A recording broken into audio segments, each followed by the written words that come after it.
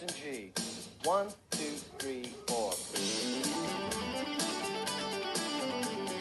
Two.